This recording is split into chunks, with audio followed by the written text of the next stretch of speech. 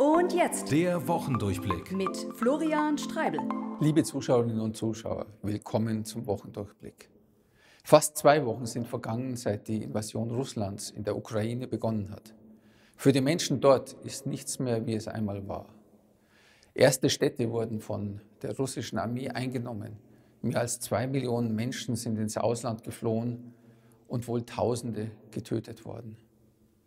Keine Frage, Putins Angriffskrieg gegen die Ukraine ist eine historische Zäsur der Geschichte.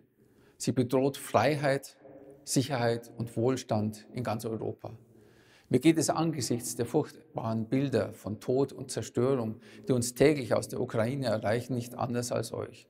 Ich fühle mich absolut ohnmächtig gegenüber dem russischen Präsidenten Putin, der zu allen entschlossen scheint und möglicherweise mehr will als die Ukraine. Und ich weiß, gerade jetzt gilt es, einen kühlen Kopf zu bewahren, sich nicht provozieren zu lassen und im Interesse Bayerns bestmögliche Entscheidungen zu treffen. Unsere Reaktion auf den Bombenhagel in der Ukraine entscheidet darüber, ob das 21. Jahrhundert den liberalen Demokratien gehört oder ein Comeback brutaler Autokratien folgt. Deshalb hat die Freie Wähler Landtagsfraktion bereits unmittelbar nach Kriegsbeginn einen Zwölf-Punkte-Plan entwickelt. Darin erklären wir, dass wir uneingeschränkt zur Ukraine, ihren demokratisch gewählten Regierungen und ihren Menschen stehen. Wir fordern eine rasche Stärkung der heimischen Verteidigungsfähigkeit. 100 Milliarden Euro für die Bundeswehr sind ein guter Anfang, dem aber weitere Schritte folgen müssen.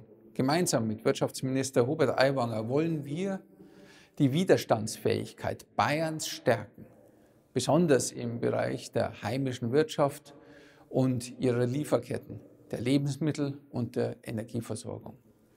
Wie wichtig das ist, hat anfangs der Woche die IHK München ausgerechnet. Allein um die russischen Gasimporte zu ersetzen, bräuchte Deutschland 35.000 Windkraftanlagen oder 50 Atomkraftwerke. Ein Lieferstopp würde die bayerische Wirtschaft ins Markt treffen. Was können wir also tun? Hier und jetzt, angesichts der schnellsten und größten Flüchtlingskatastrophe seit dem Zweiten Weltkrieg? Die Antwort lautet, zuallererst einmal die Flüchtlingskrise bewältigen, denn in den nächsten Wochen und Monaten werden Hunderttausende Ukrainer zu uns kommen, vor allem Frauen mit ihren Kindern. Sie haben alles verloren, benötigen eine Unterkunft, Verpflegung, ärztliche Hilfe, Sprach- und Integrationsangebote, Unterstützung bei Behördengängen und noch viel mehr. Außerdem müssen wir die Kapazitäten unserer Kitas und Schulen aufstocken, um viele Kinder und Jugendliche zusätzlich aufnehmen zu können. Darauf bereitet sich Kultusminister Michael Piazzolo derzeit intensivst vor.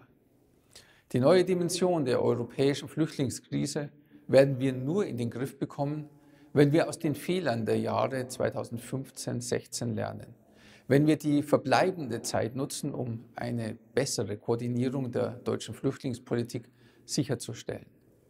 Wenn unsere Kommunen zur Bewältigung dieser Herausforderungen massive finanzielle Unterstützungen erhalten, vor allem durch den Bund.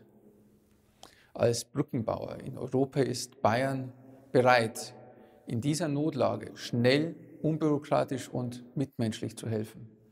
Eine Mitmenschlichkeit, die viele Bürgerinnen und Bürger gerade aktiv leben, etwa indem sie Hilfstransporte nach Osteuropa organisieren, Geld an wohltätige Organisationen spenden oder ukrainische Flüchtlinge spontan in ihre Wohnung aufnehmen. Ein herzliches Dankeschön für eure großzügige Unterstützung in dieser für uns allen noch vor kurzem unvorstellbaren Lage. Bitte bleibt gesund und Gott schütze euch. Der Wochendurchblick. Mit Florian Streibel. Freie Wähler Landtagsfraktion.